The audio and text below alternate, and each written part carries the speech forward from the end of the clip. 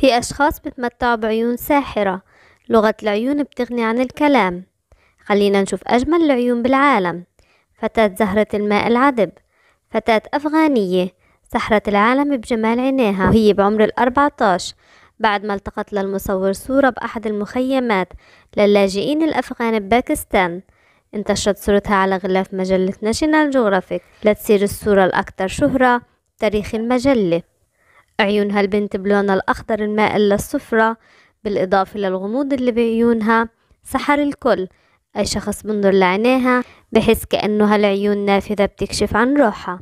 ورغم إنها أصبحت زوجة وأم إلا أنه صورة الفتاة البريئة علقت بأذهان العالم لسنوات.